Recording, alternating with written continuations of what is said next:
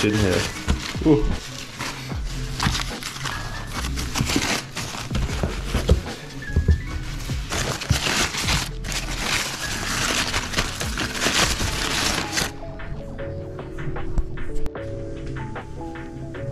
There's a lot of veg and fruit. Spiced squash buns. That's what the recipe is.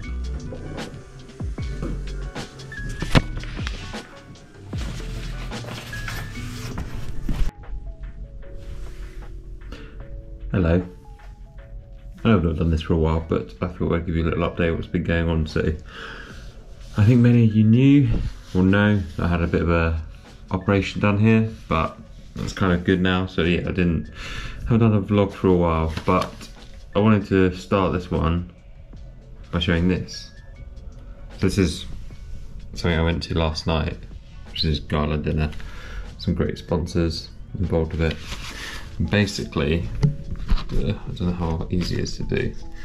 They were just like raffling off things from really, you know, incredible prizes. There's like rides with Sean Kelly, um, signed jerseys, tons of stuff, and it's all to raise money for Action, Action Medical Research for Children, which basically fund medical research, which basically they fundraise uh, medical research for all kinds of rare and quite unique diseases. Um, there was a young lady who spoke about how she was having epileptic fits like four or five times a day, and they helped fund the research to be able to do the surgery to effectively save her life.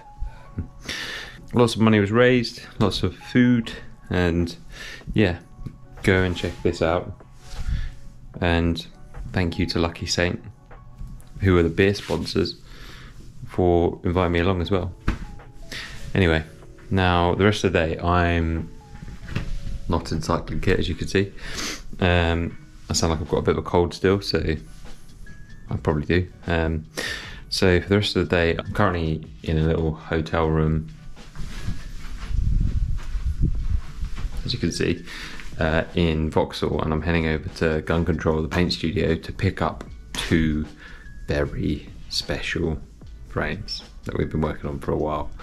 And I thought I was going to do this video about them. So yeah, see you later on.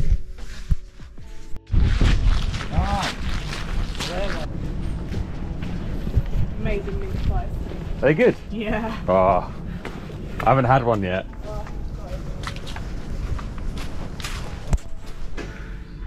Look. That's pretty special. But then the thing that behind it is probably even more special, isn't it? One would hope so. Yeah. One would hope so. So this is Sammy. Sammy's a very, very clever paint man who we've done. How many bikes have we done together now? It's got to be 10. If you go back to Windy Miller. It's got to be, got to be getting on. Might be more. No, it can't be more. So there's one of them. That's that's the Australia bike. So you had Australian, there's a purple. Yeah. The other purple, Chrome. chrome, two uh, two charity bikes. Two chat yeah. Has there been another one other than that? These two. Those two. on ten. So there's um it's got to be about 10. I've, I've also got news. I've got the other raffle bike in the back of the car. okay. Um, so I'm going to so briefly about what this one is. So this is an original soloist, and what we've done is we basically took one of the original frames, and I'll put a photo of what it looks like, and we've uh, done a modern interpretation of that frame and that paint scheme, which was like a this color, Yeah. color, this color. It's being generous. It's, yeah, it's post box red. So we've done like a modern interpretation, and we're going to build it up with a new mechanical group set. Sammy's done a matching stem, which is over there. Massive pile of stems. Very, very, very, very. Here we go. It's just beautiful, isn't it? Done it all. So we've got that stem. That's going to be built up as a modern uh, build on the original soloist, um, kind of to celebrate the release of the the new one. This one it says 95 on it, but I think this is actually one from 2006 or 2007. But the first one came out in 1995. So this was the first aero road bike that this this actually was the first carbon aero road bike, and they made an an aluminium soloist, which kind of relates to a bit more what that is. that one is effectively the predecessor to the soloist. Is it really? Okay. Yeah, yeah. But it's a track version of it. Yeah, yeah. But you basically came up with. Uh, we, we turned around and basically said, let's just. We had a couple of ideas of what to do with the T1, the track bike, and then I think we just went down the route of going, what do you want to do? Yeah, sure. I mean, we could talk about some of the ideas you did have. Um, we spoke about colour changing paint, didn't we? Yeah. Colour changing paint, which we trialled. There were some pigments that are used in nail polishes Yeah. and food decoration, um, which is just a dry raw pigment that we tried to synthesize into paint. Done some tests which worked really, really effectively. Went outside, it completely changes really, really quickly. Bring it back inside, changes back. Would have been great. The problem is, as soon as we put our 2K clear coat over the top, it's got Yeah. UV inhibitors in, so Yeah. it won't work. Yeah, yeah. So it would purely be a case of if we were to paint in that, how would you then layer it up with logos on top? You couldn't protect it. You couldn't put a clear coat over the top. Mm. Um, so yeah, that idea. I'm not going to say it's completely done with, but Right now, it was out, right now, we haven't figured a solution to solve it, Yeah, which is fine. Yeah. Maybe we'll find some old lacquer from the 90s and it doesn't have UV inhibitors. Wait, there's gonna be some around there, right? I turned around to you and I was like, "What do you want to do with it?" I- And I said, "As long as it's not red." I think it's, Yeah, that was the only thing I said. as red, as long as it's not red. Well, I'd had some ideas on a new way of applying gold leaf. So we do loads of gold leaf, and there's a real traditional way of putting it on. Um, and I wanted to try a glass gilding um, trick. It's called water gilding, which is how old sign writers used to do and still do uh, panes of glass. So if you in London, nice houses, you've got the number, house number. So Yeah, it's yeah. very chromy looking gold. That's done with water uh, or a water mix. And what happens is you are allowed to then float the float the gold leaf on top of the glass. The water dries out and it stretches the gold leaf on, which is a slightly different way of applying it, where we would normally put a glue down, and the glue glue goes down, leaf sticks to glue, and then you're effectively trapping the glue underneath the leaf. It can sometimes tarnish if it's not done right, um, and it doesn't often lend itself to going into these intricate shapes. So we just wanted to try a new way of putting leaf down. So it's a bit of an experiment. Chris has been a bit of a guinea pig, but I think it's worked out. And then we decided to try and put a, uh, a marble candy effect over the top, which I think is again, I think has worked out pretty cool. So do you do the gold leaf? You pre- obviously you strip the frame, you prep the frame. Do you then do the gold leaf and then do the? Absolutely, yeah. So to, so to allow the gold leaf to sit nice and flat, we wanted a nice flat surface for it to go over, which is obviously the same for any paint job. But for this, we had to, we couldn't quite decide how we were going to work it. Um, the way it's done, the gold leaf has gone on first. So actually, if you were to scratch away all the paint that's on there, you would find that that frame is mostly gold leaf at the, at the front. which was, uh, yeah, it's quite a lot of gold leaf on there. Um, and then the way that we've got this exposed, I wanted it to look as if you'd ridden through like a gold, you know, like a gold cloud or a gold puddle, and to get like the element of speed without you actually moving. Um, that sounded quite good, didn't it? The idea is you can't really uh, effectively mask on top of gold leaf because it's so fragile. And this is 24k real gold leaf; it's not imitation. It's so fragile you can't mask on top of it. And there is ways of lacquering it in and adding build to the bike and then masking on top of that. Uh, we don't really want to do that. And to get this effect, we used uh, a liquid latex mask, which is what model makers and stuff use. So if you've got the little people painting the little figurines, like paint the eyes and then put a bit of this liquid latex over the top, it's really good stuff. And this is the. This is what you use for Yeah, this, yeah. isn't it? Yeah, so previously we've used it on that to create like a brush effect. That's a really lovely bike actually. The frame isn't in here for that. So yeah, that was the idea. And when, whenever we did it with the base coat, um, we had these colours running through it. it Just looked really effective. So I've always wanted to try it with gold, and trying to talk a regular customer into doing it's quite hard because it's quite a specific look. Um, but I think we've done it. I think we nailed it. It looks. I mean, it looks incredible. It's perfect Like- for a track bike. Exactly. It's loud. It's bold. It's incredible. I was pretty buzzing when I walked in. I think. I think. I think. I think I just went, "Holy fuck!" I think was my reaction. Good. It's beautiful, and Yeah, we're going to be sad to see it leave.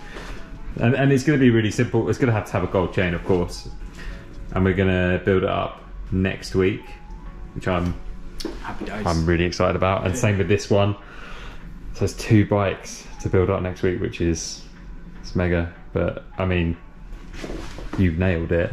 Oh, thank you very much. You have nailed it. Thank you very much. It's nice to. Uh, Sammy's very good at painting. well, we've got to, we've got to give Kaylee credit for this one. I can't take the credit for that. Kaylee's very good at painting as Yeah. well. If you are looking for someone to paint your lovely bicycle, I'm I'm 100% biased, but this is the place to do it.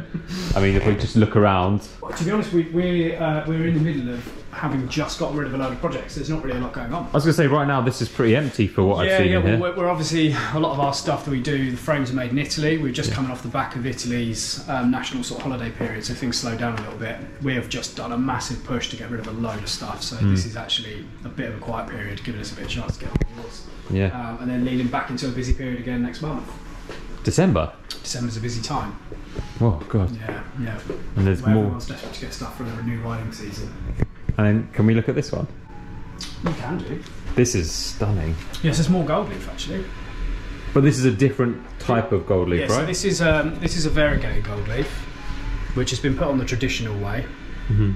Um, it needs a bit of dusting off, so if you see any gold flecks on it, they're actually just it's a gold dust, Mhm. literally. There's Yes. lots of expensive dust on there. yeah. Yeah, it's so wasteful, isn't it? Yeah. No, you see the little, little Columbus stuff on there. It's beautiful. Pretty trick.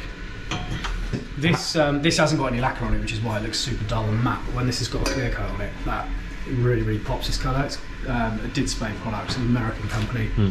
Um, so this will be like a super dark, almost black purple when it's got lacquer on it. But you take it out in the sun and it will have areas where it's just bright gold.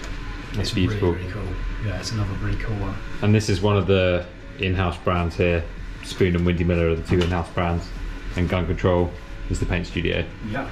And basically, we're in the paint side, and then through there is the bike side. That's right. I guess. right. I don't know what's the other side of that door though. So. I bought some really nice mince pies, by the way, from Gail's. Oh, Gail's Bakery. Gail's mince pies, right? That's I've never had one. Neither have I. Well, I'm gonna do it. So this is where the spraying's done. This is where the spraying is done, well, spraying and the baking. So it's a proper custom-made uh, paint booth for bicycles. Smells good. Yeah, it's a bit of paint going on in there. Um, so it's all nicely lit. We've got filtered air in and out, and it's temperature controlled. So obviously, as the temperature fluctuates throughout the year outside, it really doesn't matter. Paint has to be put on at a very specific temperature all the way through. If you want to get consistent results, this is the only place to do it.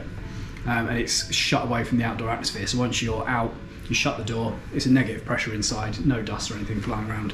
Any paint gets filtered out, push you straight out of the building, and then when you're done, you flick it over onto bake, leave it in there.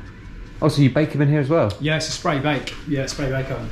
It's custom built. It's like a catering oven. Yeah. Uh, custom built catering oven that we're waiting to have installed, which you basically will then, throughout the day, you can rack all your frames up and then put them in the baking oven and just do one bake. So it's just Yeah. more efficient. Yeah, yeah, makes Uh, it doesn't run on gas; it's only electric. Whereas obviously this is burning burning gas. How many frames do you reckon you paint a week? Because everything is always rolling, we very rarely will do a start to finish unless something's coming in. It's very basic. There will be if if if, the, if all of the hooks have got bikes on, we should effectively be constantly working on. I try to do batches of five, five frames rolling, um, but that that can be you could have three batches of five you're working on. So you do a bit on one, get it into clear coat, put it on the rack, let it dry, and leave it. And then that will get sanded a week later, and you're picking up another one. So you're Yeah. constantly. So yeah.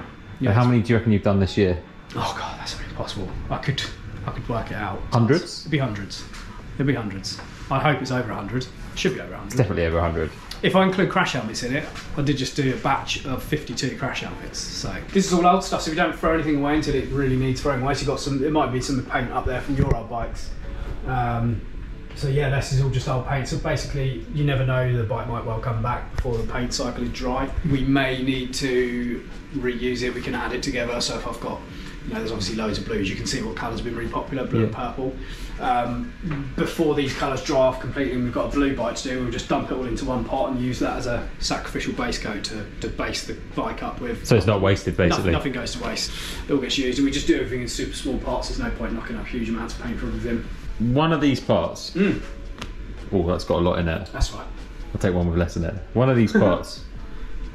ha- is that one bike? Uh, you could Mm-hmm. Give or take? Give or take. So those pots completely depends. If you had a bike that had just been primered, so it's in grey primer and it needed to be purple, you would you wouldn't want to just um, you know just go banging purple straight over the grey. You want a nice even base coat down first. So we might use you know older paint that we've got kicking around to sort of base it up and just kill that primer colour off. One of those pots, I reckon generously, you probably use in one and a half, two for one bike. Um, so yeah, you, you- and when you're when you're lacquering, clear coating, you're probably going to be using so for one frame, one fork, and one stem, it's just over one of those pots per session of lacquer. Yeah, I've got it down to pretty fine art. These are the guns, obviously. Yeah, there are a bunch of our spray guns there. yeah, something like that. it's as easy as that. You need to add air to it as well. You. Well, that's where you just get a tube. There you go. Get a tube, you blow in on one end, and then you just use the other end. That's, it. that's what you do. That's all you do. That's the energy efficient version of Throw it. paint at it. Yeah. Well, that's what we did do. We did do throw, throw paint at a We have bike. done that. We have done that. We, we haven't actually got any evidence of it because every time I've done it in the oven, I've like covered the walls in paper. But yeah, there's been times when we've thrown paint and we've catapulted paint. There will hopefully be another raffle bike Well, yeah. if we get the big boss to agree to it. he did say to me yes on the phone. Okay, I'm staying out of it. I make things look pretty. I don't make decisions on stuff like that. That's up to the big man. Well, but we had an idea. we we had an idea of what to do for it. There, there has been an idea, yeah, yeah, but we shall see. Yeah, No. we'll make. I think we're gonna make it happen. I'm gonna. I bought mince pies as the thing to like sweeten. yeah, it might be more than mince pies. We'll try. Yeah, but that was my start. That's my starting offer is mince pies. Okay. I've, I've got the frame and literally all the parts in the back of the car, Wow. Okay. and I'm just gonna intentionally go. So when you leave, when you walk out that door, I'm shutting it and locking it. I'm going upstairs and hiding. That's it. Yeah, yeah, that's And fair you, enough. you can control discussions outside of the wall. I'll leave you to wrap the frames in. Thank you very much. Yeah, yeah. Nice Thank one. you very much. Pleasure. Absolute pleasure. Wrap this stuff up. Yeah, I'm not. Um, Is it like that one's about to be stripped and sold? Yeah. That one's going off to Mallorca, but won't video really well because it's a huge, huge frame. We haven't got any lights. And there's a little blue one in the Fit Studio that's light. We're gonna go look at a Land Rover bike. I don't know what a Land Yeah, it's Rover. really cool. What's So- a, what is a Land Rover bike? Well, the the guy that's bought it wanted it to look a bit like a Series One Land Rover. Okay. So it's kind of we painted it a vintage colour and we've got some really lovely French bar tape. It's made of leather. Put Nikwax on it every two minutes. and here it is. Yeah, this is This is the Land Rover bike. that's a different Land Rover. That's cool though, right? that is really cool. Look, it's just in this corner.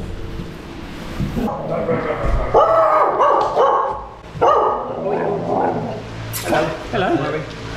Chill out. No, we're good. We're good. Doggy, doggy, doggy We've got silky cages and little Gilles Berthoud. It's beautiful. It's lovely, isn't it? Stainless steel XCR. Um, flawless, flawless, flat, matte finish. It's really lovely. It's a lovely colour. Yeah. Ben's wheels. Ben made the wheels. Oh, what's her name? Much better than.